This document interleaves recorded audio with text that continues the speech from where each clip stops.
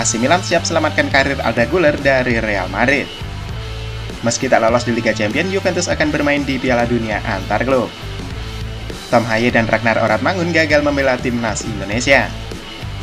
Dan inilah berita selengkapnya.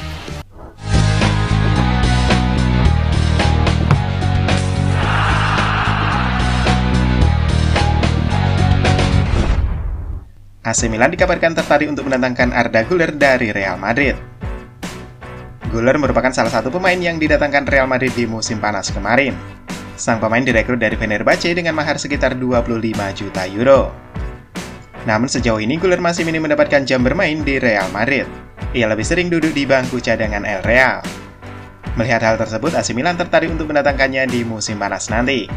Saat ini mereka sedang kekurangan pemain di posisi gelandang serang dan Arda Güler dinilai bisa menjadi pilihan yang tepat. Akan tetapi Milan belum akan membeli secara permanen. Mereka dikabarkan akan meminjam sang pemain selama satu musim dengan opsi pembelian permanen. Kini AC Milan dilaporkan sedang menyiapkan tawaran resmi kepada Real Madrid. Mereka berharap Los Blancos dan Arda Güler mau menerima tawaran tersebut di musim panas nanti.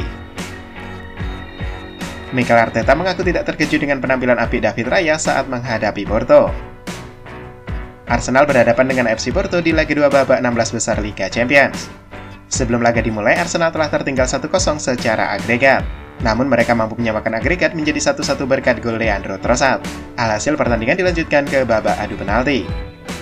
Di babak adu penalti, Raya mampu menghentikan dua penendang FC Porto, sehingga Arsenal menang 4-2 dan lolos ke babak perempat final. Usai laga, Arteta mengaku tidak kaget melihat aksi heroik David Raya di laga tersebut. Arteta menyebut bahwa sejak awal ia tahu sang kiper mampu menjadi pembeda bagi Arsenal di babak adu penalti. Arteta juga memuji ketenangan yang ditunjukkan Raya selama babak adu penalti tersebut. Fabrizio Romano menyebut Michael Ollis membuka diri untuk bergabung dengan Manchester United di musim panas nanti. Dalam dua musim terakhir, Ollis menjadi salah satu pemain terbaik Crystal Palace. Ia kerap menjadi pembeda bagi The Eagles dari sektor sayap kanan. Apiknya performa Olis ini menarik perhatian sejumlah klub top Inggris seperti Manchester United. Setan Merah tertarik mendatangkan Olis di musim panas nanti. Dan kini Fabrizio Romano menyebut jika sang pemain juga tertarik untuk pindah ke Old Trafford.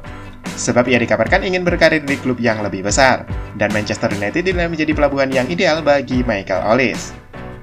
Namun Manchester United harus bergerak cepat di musim panas nanti, sebab banyak klub yang juga tertarik pada winger Crystal Palace tersebut. Juventus dan Inter Milan dipastikan akan menjadi wakil Serie A di Piala Dunia Antar Klub 2025. FIFA telah menerapkan format baru untuk Piala Dunia Antar Klub pada tahun 2025 mendatang. Biasanya turnamen ini hanya diikuti oleh pemenang turnamen kontinental seperti Liga Champions, Copa Libertadores, Liga Champion Asia, dan Liga Champion Afrika. Namun kini FIFA menambah jumlah pesertanya menjadi 32 tim. UEFA sendiri mendapatkan 12 slot yang akan berpartisipasi di turnamen tersebut, dan Italia mendapat jatah 2 slot untuk tampil di turnamen ini. Inter Milan menjadi tim Italia pertama yang dipastikan lolos karena berhasil sampai ke babak 16 besar Liga Champions musim ini. Sementara Juventus menyusul Inter setelah Napoli dipastikan tersingkir dari babak 16 besar. Poin Juventus di peringkat klub UEFA jauh lebih tinggi jika dibandingkan dengan Napoli, jadi mereka berhak lolos ke Piala Dunia meski tidak bermain di Liga Champions pada musim ini. Xavi Hernandez menegaskan bahwa ia tetap akan meninggalkan Barcelona meski mereka menjuarai Liga Champions pada musim ini. Di awal tahun kemarin, Xavi membuat pernyataan bahwa ia akan mundur dari kursi pelatih Barcelona di akhir musim nanti. Akan tetapi setelah pengumuman tersebut, performa Barcelona cenderung meningkat. Baru-baru ini mereka memastikan diri lolos ke babak perempat final Liga Champions setelah mengalahkan Napoli. Alhasil ada spekulasi bahwa Xavi akan bertahan di Barcelona jika ia mampu memenangkan trofi Liga Champions di akhir musim nanti. Namun Xavi menegaskan bahwa ia tidak punya niatan untuk tetap bertahan di Barcelona. Ia memastikan akan tetap pergi dari Camp Nou meski mereka bisa memenangkan trofi Liga Champions. Baik muda Barcelona Pau Kubarsi tampil gemilang saat menjalani laga debutnya di ajang Liga Champions. Kubarsi dipercaya turun sebagai starter saat Barcelona menghadapi Napoli pada leg kedua babak 16 besar Liga Champions. Dia berhasil membuat timnya menang 3-1 di Estadio Olimpico Luis Companys.